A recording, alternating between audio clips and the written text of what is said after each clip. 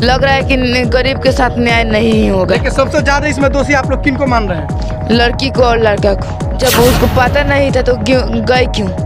उतनी रात को अगर नहीं जाती नहीं देखता मेरा भाई जी मेरे गाँव की लड़की है तो नहीं ना बोलता कुछ।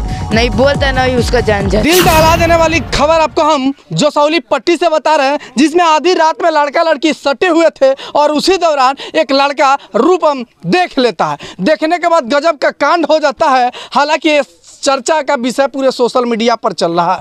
हम उसी रूपम के परिवार से मिलने के लिए आए हुए हैं। हालाँकि आज उस आधी रात की क्या हुई थी और इतनी बड़ी घटना को अंजाम कैसे हो दे दिया। यानी कहें लोग उनके पिता और उनकी माता और उनकी बहन से जानेंगे। आ, कैसे हुआ था घटना अंकल जी? ओ हमारा हमारा नाम साधु पासवान है। और हमारे लड़का का नाम है रूपन पासवान। तो आज पंच आज आज जिस दिन ये घटना हुआ था उसके पाँच छः रोज वो बाहर से आया हुआ था। उसके बाद में हमारा इन्वाइट था इसके बगल वाले गाँव में। तो हमने रूपन को भेजे कि जाओ तुम अपना खाना खा लेना और उसका न्योता करके तुम आ जाना। तो कहते हैं कि प्यार में लोग जान दे देता है लेकिन प्यार करने वाले का अगर कोई देख ले उसकी जान चली जाए ये तो सबसे बड़ी दुर्भाग्य की बात हाँ। हाँ तो वही तो ऐसा ही हुआ है ना। गलत कर रहा है दूसरा कोई भोगना भोग रहा है दूसरा कोई। है। तो यहाँ से गया, लोग अपना खाना खाया, उधर न्योता किया, उधर आ रहा था रास्ता एक बजे रात को। उसके बाद में नहर के बाँध के नीचे देखा कि दो आदमी गलत कर रहा है, दो लड़की लड़की, एक लड़का, एक लड़की गलत कर रहा है। उसके बाद में वो प्रतिष्ठा बचाने के लिए रूपन बोला कि तुम लोग गाँव समाज का प्रतिष्ठा ले जा रहे हो, काहे से कर रहा है तो तुम्हारे माँ बाप के पास चलो। उसके बाद उतना ही देर में वो आलोक पासवान ने रूपन को चाकू मार दिया। कहते हैं ना बना रहे थे शारीरिक संबंध और देखने के बाद अपनी इज़्ज़त बचाने के लिए कर दिया सबसे बड़ी कांड। क्या कांड किया? चलिए हम रूपन की माँ से जानते हैं हालाँकि रूपन इस दुनिया में इस वक्त नहीं है। क्या लगता है आंटी जी आपके बेटा के साथ न्याय होगा? न्याय हो न्याय हुई तो विश्वास पड़ता है। क्या पुलिस वाले कोई संतावना वगैरह दिए हैं कि मतलब आपके साथ न्याय वगैरह हाँ होगा? वो दिन जो बउआ हमारे थी डेट भेल बान दिन कहले बान कि न्याय हुई। तब नहीं तो विश्वास पर बन अब हुए प्रशासन लोग जाने कि न्याय होगा कि नहीं हो। हम लोग तो विश्वास पर बने। विश्वास से बनी। हमारे हुए बेटा कमा जिस के जिस नहर पे मिले थे बाँध पे बाँध के उधर नदी उदी है का नहरी है? नहर। ना वो बाँध पूरा बड़का नहान है। नहर। है बड़का नहर। हाँ, हाँ। उस नहर में बाढ़ भी आता पानी उनी आ जाता होगा? अभी पानी नहीं है। अभी नहीं है। लेकिन उस बगल भी गाँव है। उसी गाँव का हाँ, लोग रहने हाँ, वाला हाँ उस गाँव का।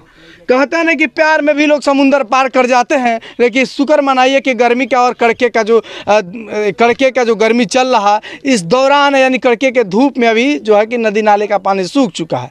और सूख चुका है, लेकिन इस समय जो प्यार उफान पे चल रहा है लगता है आपको कोटवा थाना अंतर्गत की घटना हम बता रहे हैं कि एक लड़का लड़की रात के एक बजे रात्रि को मिलते हैं और उस दौरान भोज खा कर जब आ रहे थे रूपन और पवन तो इतना बड़ा कांड हो जाता है कि शायद आप सोचे भी नहीं होंगे। किसी का बेटा चल जाता है तो किसी का भाई चल जाता है तो किसी का जिगर का टुकड़ा चल जाता है।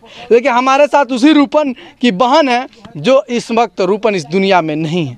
क्या कहना चाहती हैं रूपन के लिए? यह मैं ही कहना चाहते हैं, जिस तरह मेरे भाई को मारा गया है, उस तरह उन लोग को भी फांसी मिलना चाहिए। तो बहुत सारा जो है इससे बड़ा बड़ा भी कांड होता है उसमें जो है अपराधी है उसको फांसी की सज़ा नहीं हो पाती है। क्या आपको लगता है कि आपके भाई के साथ बहुत बड़ा न्याय होगा और जो अपराधी हैं उनको फांसी की सज़ा हो पाएगी? जी हमको विश्वास है जी हाँ हो पाएगी। अगर यहाँ पे नहीं सुनेंगे लोग तो इससे भी हम लोग आगे जाएँगे। वहाँ पे नहीं सुने तो उससे भी हम लोग आगे जाएँगे लेकिन जाएँगे। यानी कहते हैं कि हम जाएँगे जनता दरबार तक ले चले जाएँगे नीतीश कुमार के उससे नहीं होगा तो आगे हाई कोर्ट तक ले भी हम अपील कर देंगे। यही कहना चाहते हैं। जी। नहीं लगता है कि जो प्रोसेस है बहुत लंबा बता रही हैं। इस तरह से होगा तो दुनिया में किसी के यानी कहे तो बिहार में किसी को न्याय ही नहीं मिलेगा। इतना अगर लंबा प्रोसेस से गुजरना हो तो न्याय ही नहीं मिलेगा। क्यों नहीं मिलेगा? क्योंकि इसका साक्ष्य सामने है पवन है वो लड़की है साक्ष्य जिसने एक बजे रात के अपने बॉयफ्रेंड के साथ थी वो खुद बता रही है कि जो आलोक था वो चाकू घोंप दिया उसके पेट में। जी। प्रूफ तो यहीं पे है जी। प्रूफ तो यहीं बता रहा है जो गलत करने गई थी वही बता रही है कि हाँ हमारे सामने चाकू मारा है। ये भी जानकारी मिल रहा है सूत्रों के हिसाब से कि लड़की थी अपने आशिक के साथ भागने का प्लान कर रही थी और उसी दौरान टपक पड़े पवन और रूपर जिसके वजह से उनको रास्ता से हटाना पड़ा। हम्म, हम्म, हम्म। क्या लगता है? हो सकता है ऐसा? हाँ हाँ वो तो हटाइए दिया वो तो समझिए कि वो अपना वो अपना बचने के लिए उसको साफ़ कर दिया। हमारे बेटे को ख़त्म कर दिया। क्या लगता है आंटी जी लोग भागने का पालन में था शादी उदी था इसलिए? हाँ हम तो सब छीन हमार तो बेटा छीन लेना हमार बेटा कमा के हमनी के ला पापा के मियाज खराब हो बेटा पढ़ाई छोड़ दिलन बाहर धरेलन कि हम अपना माँ बाप के हम सुख से खियाम चैन से राखम अच्छा से राखम अब के अच्छा से राखी? देखिए एक माँ का दर्द बोल रहा है। एक माँ नहीं एक माँ का दर्द बोल रहा है जिसका सत्रह साल का बेटा इस दुनिया में नहीं है। और दुनिया में इसलिए मैं कह सकता हूँ कि दुनिया में जिसने छीना है अभी तक पुलिस के गिरफ्त से बाहर है। आखिर क्यों है पुलिस के गिरफ्त से बाहर? इतनी बड़ी घटना हो जाती है साक्ष्य है सबूत है। सब कोई कहने को तैयार है कि आलोक ने ही छुरा घोंपा था या चाकू घोंपा था लेकिन फिर भी फिर भी पुलिस के गिरफ्त से बाहर है। क्या लगता है? पुलिस अभी तक कुछ नहीं सुनवाई दी है इसलिए सुनवाई नहीं दी है कि हम लोग गरीब है इसलिए वो नहीं दिए। नहीं हम लोग का काम सुन रहे हो। ओ ठीक है क्या गरीब के साथ न्याय नहीं होगा? अब वही बताएगा नहीं होगा। लग रहा है कि गरीब के साथ न्याय नहीं होगा। लेकिन सबसे ज़्यादा इसमें दोषी आप लोग किन को मान रहे हैं? लड़की को और लड़का को। लड़की को और लड़का को? जी। लड़की तो बता रही है मेरा कोई गलती नहीं है। हम तो उससे आधी रात को मिलने गए थे लेकिन उसने हमको क्या पता कि चाकू लिया हुआ है और चाकू उसने मार दिया? जब उसको पता नहीं था तो क्यों, गई क्यों? उतने रात को अगर नहीं जाती, नहीं देखता मेरा भाई जो, मेरे गाँव की लड़की है तो नहीं ना बोलता कुछ। नहीं बोलता ना ही उसका जान जाता। आखिर पूरा मामला क्या है? जब जाँच होगा तभी पता चल पाएगा। लेकिन फ़िलहाल जो खबर हम आपको दिखा रहे हैं, शायद आपके भी रोंगटे और करेजा दहल जाएँगे और रोंगटे भी खड़े हो जाएँगे।